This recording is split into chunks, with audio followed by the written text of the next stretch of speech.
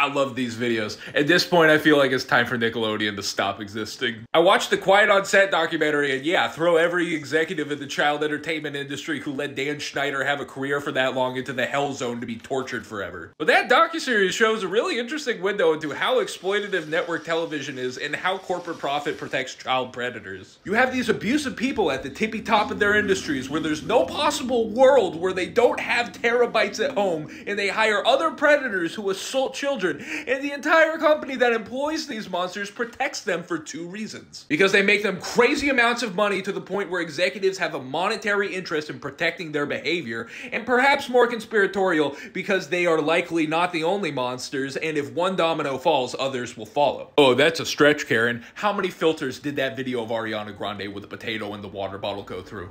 You're telling me that these executives are just dumb and didn't realize? I don't know about that. That is very beautiful looking food.